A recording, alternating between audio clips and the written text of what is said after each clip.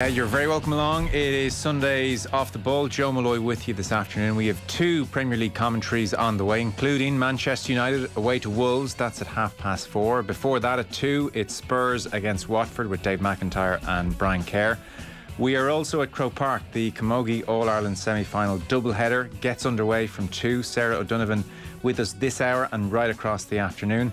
We've already, by the way, recorded the paper review. It is waiting for you on all our social channels or to podcast. Gavin Cummiskey and Conor McKeown in great form with us earlier on. 53106 is the text number. We are at Off the Ball on Twitter. Uh, it's great to have you with us. So, uh, this hour we're busy. We're going to be chatting with uh, Dave and Brian Kerr in advance of our first game. We'll be over to Croke Park ahead of the Camogie double header. We're going to be talking shortly with Dara Ó Cinnéide and Enda McGinley about another extraordinary All Ireland football semi final. But first, some good news from Tokyo to tell you about. You would have just heard about it there in the news bulletin. So, uh, Jason Smith doing what Jason Smith tends to do. Uh, he's won gold for Ireland at the Paralympic Games, this in the T13 100 metres. There was 0.1 of a second in it. It was a photo finish. Um, his Algerian opponent, Skander Athmani, was 0.1 of a second uh, behind him. It was that close. And uh, this, for Jason Smith, is his sixth Paralympic gold medal. Absolutely extraordinary career. One of the great underrated careers, I think it's fair to say, in Irish sport. Uh, Jason Smith, his sixth gold medal at uh, various Paralympic Games. And uh, he was, uh, I wouldn't say worried coming into these games, but certainly his Algerian opponent, uh, Skander Athmani, had ran uh, quicker than Smith this year. Smith has had a lot of injury problems, but he has come good at the right time. And that continues his extraordinary record. Jason Smith has never lost a championship race, he is unbeaten. So it would have been very easy for him to bow out five years ago after uh, Rio with the perfect record, but uh, he kept going, came through injury this year. It's his sixth Paralympic gold. He has eight World Championship goals. Like I said, never beaten, unbeaten at championships, which is extraordinary. And uh, his time was 10.53 seconds, 10.53 seconds today, and Athmani's was 10.54. So uh, fine margins and all that. Uh, so big congratulations to uh, Jason Smith. Follows Ellen Keane from Thursday. Uh, more reaction to Smith later on on the show. We'll bring you some of his reaction uh, speaking afterwards as well. We do have our All Ireland football final lineup. Saturday, September the 11th, it's going to be Tyrone against Mayo. Not the pair most of us would have picked out a few weeks back. Uh, another extraordinary semi final at Croke Park. Kerry, 22 points. Tyrone 314 after extra time. In a few moments, Dara Ó Cinnéide and Enda McGinley with us. First, the reaction from both camps. We'll start here with, uh, well, a man who's been there and done it as a player, and now he's starting to do it as a manager, Brian Dooher. Uh, here talking to Off the Ball's Aisling O'Reilly post match. Have a listen. Brian Dooher, I'll let you catch your breath a small bit. You're literally just off the pitch. Unbelievable game. It had absolutely everything. I think it was one of the best game of footballs I've seen in a very, very long time, or maybe ever. Is there a sense of relief? Oh, there definitely is because coming down here, we just didn't know what way boys were going to react, you know. And we had we were come down with a few short, obviously, as everybody's seen. Um, we had to take off men halfway through it just because just their energy levels weren't right. But you know, thankfully, the other boys came in and they all chipped away, and the boys done remarkable there, considering what they've been through this last couple of weeks. Exactly, and at times there, you know, you were down two men with black cards. We've seen Darren McCurry there as well. What did you think on that black card? Was it a black card? I didn't see his black card to be honest. I know it was off the ball, so we'll look at it some other time. Uh, but you know, it is what it is. Um, if the referee seen it, whatever decision they made, like we have to live by it and go on with it. You know, so we took it on. It definitely didn't help us. We had two black cards, so we were playing 20 minutes of the normal time without a without a man, and then we lost another third one at the end up. I suppose the game was over at that stage. But you know, it's something that we can do without, to be honest, and it's not something I like seeing particularly. And we spoke about the bench so many times when I spoke to you through the championship, and once again that bench, Cathal McShane, one three even Darragh Canavan, just the energy that he brought when he came on, it was just something else. And I'd say as a manager, it's so important to be able to look onto the bench and see these lads, and you know they're going to make an impact. It is. It's definitely important. You know, it's great to have game changers there on the bench. And you know what? We have many of them there, and we actually have more back that we can't put on our 26 unfortunately that really put on a tremendous effort during the year you know and that's why we've got to where we've got to is because of them people but as you say it's great to bring on men that can make a difference and they certainly did today And you showed a lot of grit, determination, the turnovers in that first half, you know, to come out with the ball at pace, and you got a lot of your scores from that. Is that something you really sort of said to the lads coming out here? That was something, you know, it's not we were probably a bit too much last ditch defending, you know, on occasion. But at the same time, we're very good men to do it back there. But it's too much there for my liking. But it's something I've never liked back there. I'd like to probably cut the scores out a bit further up the field, but or the potential scores. But you know, so be it. That's the way it was, and it was where we built from. You know, but it's hard work whenever you have to build the whole way up the field for a score every time. You know, and it is draining. It's energy sapping. But you know, the boys they found it in their legs there to push on. So you know, it was good. It was just good to get there. Yeah, Brian Dooher there. So uh, Peter Keane then, I guess, uh, into his uh, third year of three years, uh, as agreed with the Kerry County Board. Dublin in the All Ireland final three years ago, uh, two years ago rather. Cork in the Munster final last year, and now Tyrone at the All Ireland semi final stage. Here's uh, Peter Keane. This was his reaction afterwards. Peter, understandably, you're feeling absolutely devastated after that. How can you sum it all up? Um, I suppose it's difficult to sum it up um, in a few words, but we are obviously very disappointed. We came here into an Ireland semi final with the ambition of getting to a final, and we've come up short by a point in that. So, look, we are disappointed, but you know, I'd have to say I'm terribly proud of the lads. Um, they, they died on their back today. They gave it everything they possibly could, even at the end. you know, when we went into extra time, we conceded a goal and two points early on to go five down and got it back, got it back to a goal, um, one score at half time and extra time, and kept chipping away. And even at the ditch, you know, we had an opportunity to, to, to level it again. And where do you feel it went wrong today? Can you pinpoint any few mistakes or where it was? Yeah, look, I suppose that's something that'll happen in, in, in time, you know, we'll, we'll look at that a bit more. And so obviously into extra time and you're losing David Clifford, you know, he's a massive player for you. That's obviously a huge loss. Yeah, sure. I suppose. Look, if you look at if you look at him in the game itself, I think he had scored eight points. You know, so look, a player of his caliber is always going to be a loss. But look, that's what happens. And you had five weeks to prepare for the game. Is it too much time? Was it a bit too much time without game time? Well, I suppose, look, we were obviously preparing for three. We knew we would have three, and then we were preparing for four, and then it was five. But look, we're here today, and um, there's much point complaining about anything. And will you stay with Kerry, do you think? Ah, we'll decide that in time. Yeah, Peter Keane there with Aisling O'Reilly. Very happy to say we have All Ireland winners uh, with the Dara Ó Cinnéide of Kerry, Enda McGinley of uh, Tyrone, and uh, an extraordinary Tyrone uh, performance for so many reasons. Uh, there was a never they never say uh, die quality throughout. I mean, you can kind of forget in this game as well with two minutes of normal time to go, and admittedly there turned out to be nine minutes injury time. But even with two minutes to go of normal, Tom O'Sullivan pops over a point. carrier two points up with about three minutes of normal time to go. And sitting at home, I said, well, that's a wrap. Yeah, and yet, funny watching it in, in Croke Park, I didn't particularly feel that. I felt game was so in in your face. It was so aggressive. It was so sort of attritional and full of energy. There was mistakes coming on both sides that you always felt there was going to be chances. You knew there'd been a lot of injuries, so you reckoned even a standard county game now has five six minutes, so you knew it was going to be a long period of time. And Tyrone looked to have the energy to carry. We're cramping more than Tyrone even at that stage. So you always knew there was a chance. And listen, Tyrone wouldn't have been disappointed. One or two points down, Tyrone were coming in as rank underdogs. So from a player mindset point of view, when you're coming in as a rank underdog and you've still got something in that fight with two minutes to go or coming into injury time, you're more than happy. You throw the kitchen sink at it, knowing that you've you've got that final hurdle. And for Tyrone coming into this game against what was an unbelievable Kerry side and, and, the results that they had been chalking up and the scores that they had been chalking up.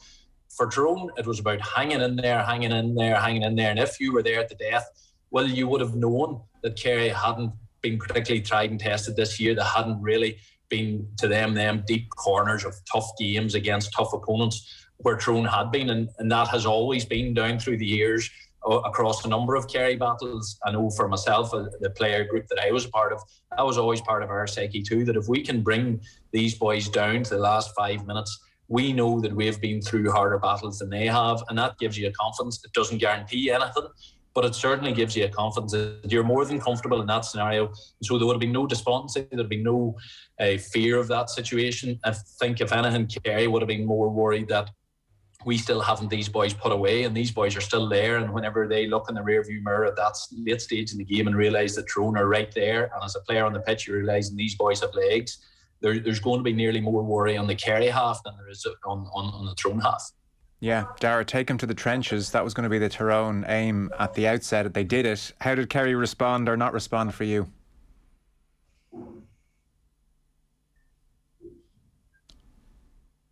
think we've just lost Dara Ó Cinnéide. We'll bring him back in a second. I'll put the same question to you though, and uh, when Tyrone did manage to take Kerry into a battle, into the trenches, how did they respond for you? What did you see from Kerry? I, I seem to be absolutely honest. I, I seen a fairly tired team. Uh, I seen a team, and particularly when, when they were shorn of, of David Clifford and he wasn't moving right. Uh, I, I think Tyrone were gaining great energy from the fact that Kerry were physically seeming to struggle. Now, to their eternal credit, and, and Peter Keane mentioned it in, in the interview, like the first quarter or the first half of extra time, it felt like Tyrone were completely overrunning them. It felt Tyrone were just the boys on the pitch with all the energy, and Kerry were absolutely foundering. And to their credit, they came right back at Tyrone and showed. I, I thought they were gone. I thought they were like a, a boxer on the rope that uh, it was time for the ref to step in. But in fairness, they came right back at Tyrone and, and brought it right down to the wire. And in fairness, I think like Tommy Walsh is an experienced player. I think he's bound to regret the, the, the, decision he took with that last kick because it looked it looked made for Kerry to, to play the ball and keep the ball on, until until the right opportunity arose or until you want a free. Uh, so I, I, know a lot has been made that, that Kerry Kerry died away. I, I, think that's a fairly easy conclusion. I think to, to the players' credit, it was not going their way. Tyrone were the team with the energy and got the goal at a critical time, and they, they were struggling up front, and yet they stuck at it. So uh, would have to be careful to, to completely dismiss Kerry, but I suppose uh, from a Kerry point of view, they'll, they'll be worried about the, the conditioning issue that, that seemed to present yesterday at critical stages, uh, and, and Tyrone seemed to have that extra uh, inch in, in, in their step, and it, it made a big difference at the end. Yeah, Dara, the uh, conditioning issue for sure, and also some of the decision making has been roundly criticised. The reliance on Clifford. A lot went wrong for Kerry as that game continued yesterday, not least extra time. You think of the first five minutes, every time Tyrone picked up a ball and ran at Kerry, they just seemed so open, so vulnerable in that first period of extra time. I mean, an awful lot here for Kerry to think about over the winter. An awful lot, yeah, an awful lot to be uh, food for thought over the course of the winter. I think when you mention conditioning, it's the conditioning, game conditioning. Um, that was Tyrone's third game in a row against Division One opposition, and previous to that, they played last year's Ulster champions. And uh, Kerry, it was a cause of concern coming in into the game that Kerry's preparation, how good were they really? All these scores, you, you kind of get lulled into a sense of security when you hit 21 goals. It's an obvious area for opposition to work on, and it's also as as a forward, you tend to think, oh, this is easy. We're going to be doing this again and again and again.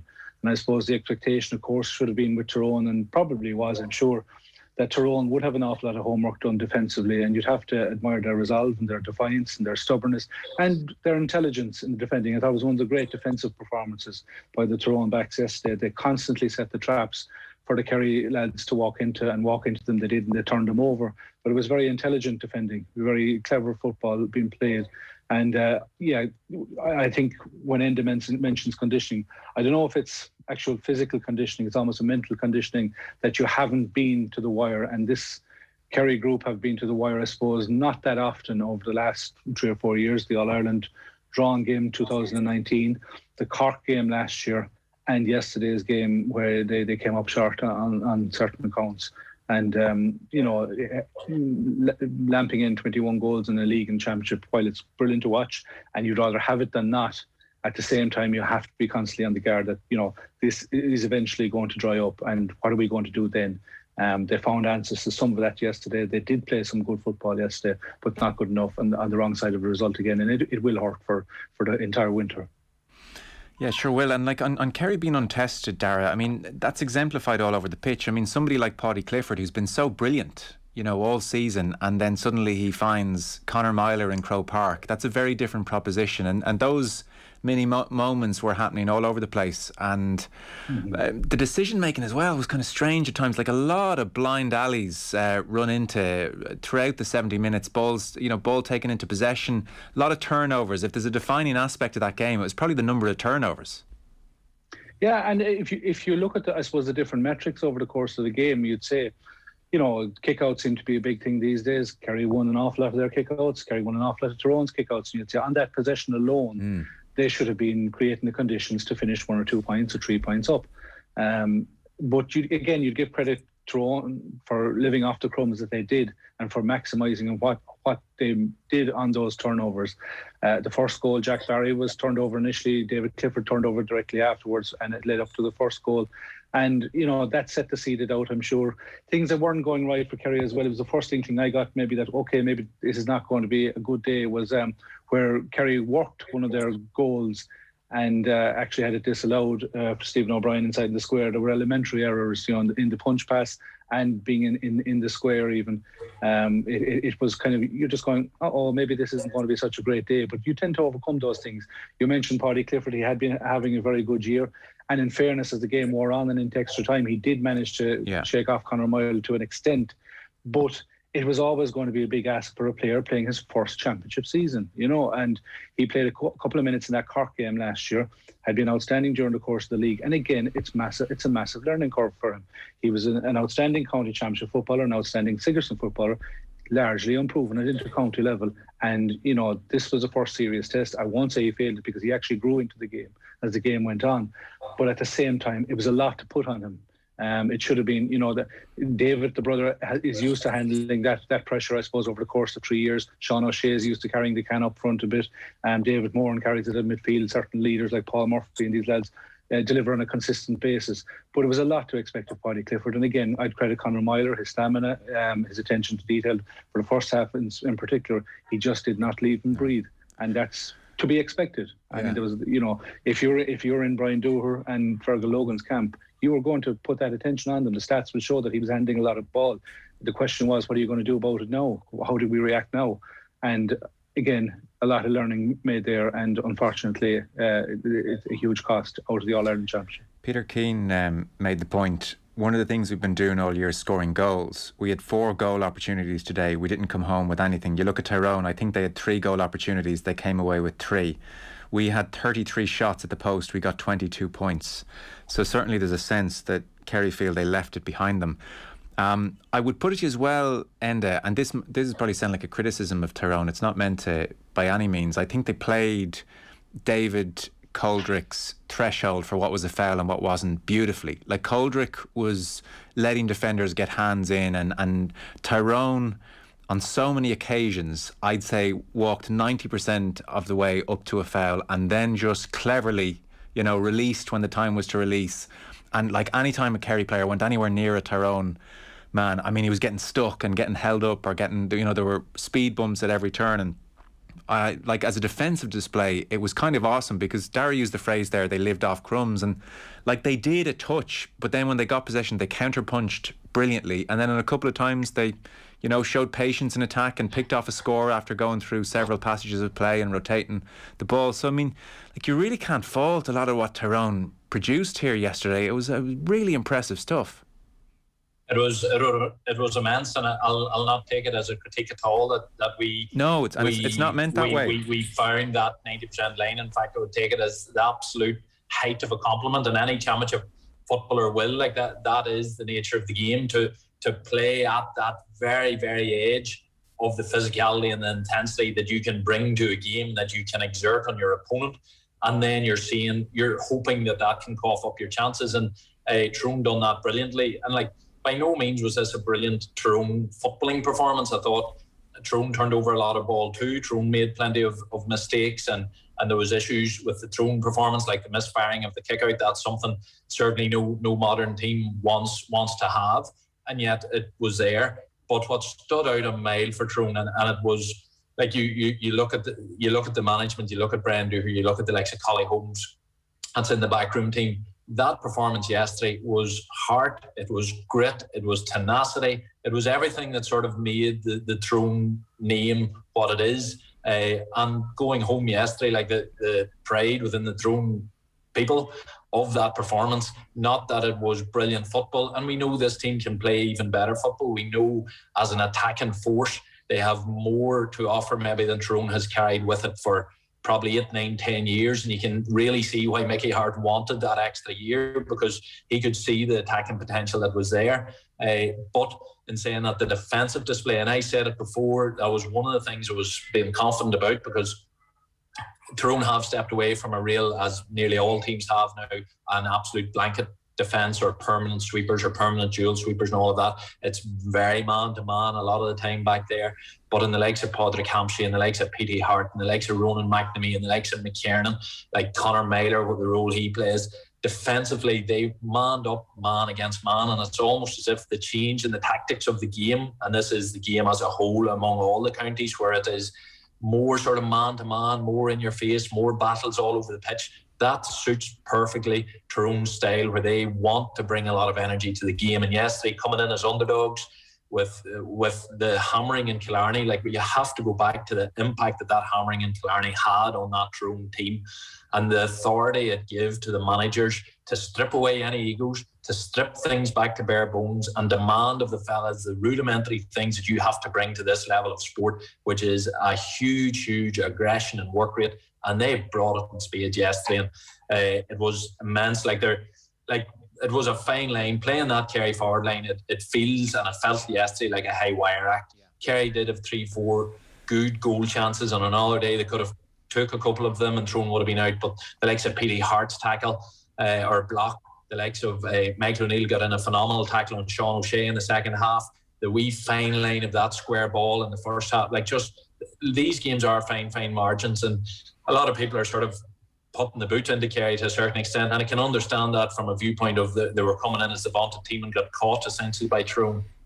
But Tyrone rode the fine lines yesterday. Mm. Uh, but as an underdog, you have to do that. No, you First do. and foremost, you have to bring that energy, and they they done that in style yesterday. You do, and then you, you, you get your, your moments where Barry volleys the ball and you know goes straight to the uh, Tyrone player, or Canavan shot comes back and McShane palms it in, and suddenly you know six points there before you know it. And and I got the impression you were at the game. Can you? Because I was watching on TV and suddenly there was this dynamic in the first period of extra time where any time Tyrone seemed to pick up the ball in the middle third, you could sense from the crowd that like a break was on, a big counter was on, and it seemed like Kerry were just suddenly so vulnerable from you know Tyrone in possession 50 metres out.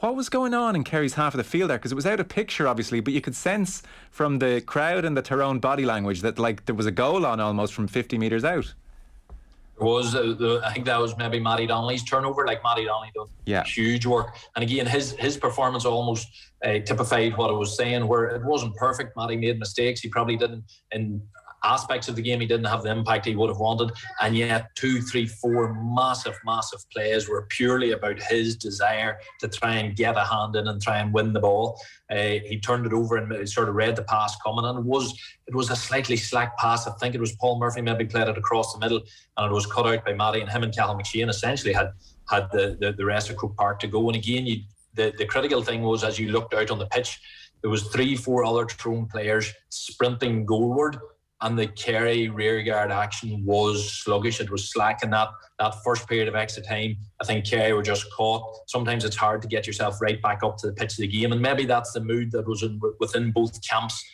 at that sort of extra time or the interval between full time and extra time it was quite a long interval. But obviously in Tyrone there was massive positivity maybe for getting there. And in Kerry they might have been wondering what are we doing and obviously they would have realised Clifford wasn't difficulty too. So I think the two teams came out at a slightly different energy level. Uh, and that showed like for, for me on the mm. on watching it in, in, the stand it just looked like there was a Tyrone tide running at Kerry and Kerry were all at sea but that's what I said right at the very start to be fair they, they settled themselves in the second period of extra time but with five points down they were they were always in a really, really difficult place to try and get that game back. Yeah. Uh, O'Shea and Clifford Dara scored 16 of Kerry's 22 scores, which is kind of damning. There was a sense as the camera kept cutting to Clifford, and you suspected the physio was doing everything he could to massage out whatever cramp was going on or whatever dead leg was going on to do whatever he could to get him back on. There was such a sense when Clifford went off that Kerry are in trouble here. Have we overestimated, like in the media and, and, and beyond, have we overestimated how good the supporting cast to Clifford are at the moment? Uh, they're, they're decent players there, um, but um, I'd say Paul Geaney was probably a better footballer five years ago. Um, Paudie has yet to come. Uh, Sean O'Shea is a fantastic free taker and is a very good player from play as well, but you know would probably contribute more from play over the next couple of years as well. Stephen O'Brien has has had a good innings. I thought Jim O'Connor added something when he came on. Dara Moynihan was coming back from injury. Kind of all these estimations and causes and excuses. I think a lot of it comes down to split second decision making. Um, you look at split second decisions being made. There was mention made of Peter Harte's block on Killian Spillane, for example. There's a split second there where that is that ch- goal chance disappears and you take your point. Um, do you track a run or not? You it's see funny you say that. Mar- Mar- Marc Ó Sé. Funny you say that. Marc Ó Sé made that exact point in the paper today. He said that's one where in, when Peter Harte's coming in, you take your point, you keep things moving.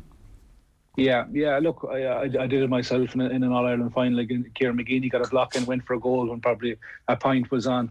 Uh, split second decisions in your head out in the field, and this is absolute split second stuff. Like, uh, uh, let's say Ronan McNamee runs up the field, or you know Michael McKernan runs up the field. Do you track or not? Do you ask somebody else to track? Uh, where Tyrone didn't even have that split second decision making process, they just did. Kerry thought about it, and by the by the time that they, you know they had a decision made, number two, three, and four uh, had had scored from play. Um, you know, the, you make split second decisions like a ball. Kieran McGeary kicks in a high ball, a ball to nothing that's going nowhere really. Jack Barry makes a decision to to put a foot to it, you know, and probably if if, if he leaves a bounce into him, he had the ground taken on his opponent there, and you know, these are all split second decisions being made. You know, they'll obviously be talking about the Tommy Walsh one. Um, at the end, you know, probably a reason, like say, players you know how how Tyrone worked a situation in injury time where they were able to get Darren McCurry to be the shooter. You know that's that's what they would have wanted beforehand. That was engineered, and that wasn't you know that was totally by design. And uh, you know these are all split second decisions that people make, and you know they live or die by those those split second decisions or lose games or whatever. I mean, I think it would be remiss of us as well not to mention probably the greatest one of the greatest free kicks I've ever seen in Croke Park by Niall Morgan. You know, it was outside the 70 yard. Like there was a time when you'd be happy to take to kick a 50 in a game of football. Now they're kicking them from 70 and beyond. I mean, he had to kick it because it was the last kick of the first half. But you win, you lose a game by a point, and you look at a kick like that. It's it, it was a massive, massive kick, and you know he can take credit for that. You know, and it's huge credit for that. So you, when you to answer your question about the supporting cast to to, to Clifford and O'Shea, uh, they probably haven't found the right dynamic. How much time did Seanie Shea play, play in the strongest position yesterday on the 40? Before the game, I would have thought the fact that Kerry were moving and interchanging so often up to now in the league and championship that it was actually uh, an advantage. I don't think so yesterday. I, I, think it didn't fool anybody, only themselves really. You know, I think Tyrone were were, were on it fairly early. Um, Paul Geaney is an inside line man. You know, you know when he was winning his All Stars a number of years ago, was always on the inside. Seanie O'Shea on the forty. David Clifford has to be on the inside line. And when David Clifford moves out the field, which he's had to do over the course of his, his three-year career at intercounty level, like a, a, bit, you know, that's just a modern game. You have to track your man and go out, but that's meat and drink to defenders. That's where you want them. Um, so they're not bad players. They are the best. That's what's what's in Kerry. Uh, Paudie Clifford has added a bit to it this year. Diarmuid O'Connor will grow into it. Killian Spillane usually has more of an impact off the bench, but that's what's there. That is what's there. Mm. But um, it comes down to split second decision making and you know, I, I do think, and I go back to that kind of mental conditioning that was there coming into the game. It had been a bit all too easy. Hadn't had enough of that 20 minute stuff against Cork. Yeah. Um, got a bit of a challenge against Dublin in the league. Other than that, I'm struggling to think of moments where Kerry were really tested. And that's the mental conditioning. I'm not sure it's a physical conditioning thing. You mentioned the space that was there in the first half of extra time, for example, Joe. Jason Foley, who had played quite well up to that point, was cramping badly at that stage. And maybe again, spent maybe three or four minutes on the field more than he should have. That decision should have been probably made a bit quicker, but it's easy to say that from up in the stand. Mm. Um, but he, he definitely was conceding space uh, in in those three or four minutes where Tyrone did the damage, having had played very well up to that point. And you know, they're the decisions that are going to torment Kerry people right into the winter. They are. Dara, do you expect to see Peter Keane back for year number four? Kerry is an unforgiving environment. Like it's, I find it kind of I find it kind of hard and sad to talk about, you know, the way we treat our managers down here in Kerry. Um, it's it's it's a very unforgiving environment. Everybody becomes an expert very very quickly. I've seen it over the course of my entire career. I've seen it post my career playing football. Like you know, where we make decisions. The question you always have to ask is. Uh, is as is our management improving players? Dooher and Logan certainly have improved a template that was strong. As Enda said there, Mickey Harte was keen to stay on for another year, and rightly so. He could see the stuff was there. Um, Peter Keane has had three years that has lost an All Ireland final after a replay last year was against Cork was you know not not not acceptable to any Kerry person, and yesterday against Tyrone just came up against a team that were sharper, hungrier, um, you know, tracked the runners way better than we did, um, and and played their cards way better than we did in terms of setting defensive traps. You know, do, do managers set out a plan for players to play? They got a lot right in, in terms of kickouts, which was huge on both sides. They did really well in that one, but Kerry is going to be an unforgiving environment for Peter Keane over the course of this winter, and um, you know, it's, it's, I would hope that it's entirely his decision. You know, Eamon Fitzmaurice had kind of that luxury in the previous management, but again, public opinion had turned against him in the last year as well. It's it's a hard place to be. There are no outstanding candidates stepping forward saying, "Look, this is my track record. This is what I've achieved in the game between club and county to replace what's there." And you know, I have nothing respect for anybody that takes those, up those jobs, particularly Kerry management. It's unforgiving. Even Mickey Harte, who achieved all he did in Tyrone over the course of a number of years there, there was probably a tide turning against him towards the end as well. Mm. Um, I don't get it. I don't understand it. But you know, people, I suppose, expect all the time, and that expectations creates particular standards. It has happened in Kerry, and you know, it's happened in Tyrone now, where they've yeah. replaced a very a history-making manager with uh, joint manager, you know, the joint managers that have bought a team to an All Ireland final in the first attempt. So hopefully Peter Keane gets to make his own decision. He will be he will be crucified, I would say, from here to Christmas on decisions that he's made and didn't make. I can imagine. And uh, finally, and uh, Ronaldo at Manchester United, Tyrone out working Kerry and Croke Park, ambushing them. It's 2008 all over again. Who's favourites? who who are the raging hot favourites for this final now? Oh well, of course you have to say Mayo. Oh, do, oh, do you? Uh, do you? I didn't realize. I, I, I, didn't. I didn't realize you had to say that now. But that's how you're playing it. Okay, good to know early well, on. Absolutely, we're, we're going to go with Mayo. Uh, and look, Tyrone, Tyrone are used to playing the pantomime villain in, in a lot of roles, and I think we're going to have to dawn and be very comfortable in that mask now coming up against Mayo because it's hard. Uh, even the hardest of hearts would, would feel it uh, tough to not wish or not think that Mayo have earned uh, an All Ireland title, but we all know sport, and Mayo know sport better than anybody. And Tyrone will know that these chances are few and far between. And this team also has had their their downs, and they have missed out. And they'll feel at times the Tyrone team I'm talking about. They'll feel at times that they haven't, and they haven't really got the respect. They're still living under the, the shadow of of the teams that I was a part of back in the noughties. Looking at the way they played yesterday, like make make no bones about it, that was for me probably Tyrone's best ever performance and result in, in Croke Park in terms of what they were up against, what they dealt with, what the players showed on the day. Like so, those boys, you, you have to earn your Ireland medals, and then whenever the chance comes, you have to grab them. And uh, from a Tyrone point of view, whilst you can obviously respect everything about Mayo and the Mayo uh, story down over the years, which we've all loved, and, and what they done against Dublin was immense. Uh, but Tyrone will, will look after their own ship and while 31 counties will be against us, we're we're not particularly unused to that scenario. Oh, the chip on the, the shoulder here is joy it's, to behold. It's growing. It's growing. I'm not sure if it's a McCain chip or what chip. It's maybe a full chip body at this stage, oh. but ah. there's there there'll be chips there plenty. But no no no better way than coming into the Ireland final. No, look, it'll look. Yeah. It's a great final. It is. Both teams will look great. at it with full confidence, you know. No, it should be great. Listen, fellas, brilliant analysis. Dara Ó Cinnéide, Enda McGinley, thank you. All the best.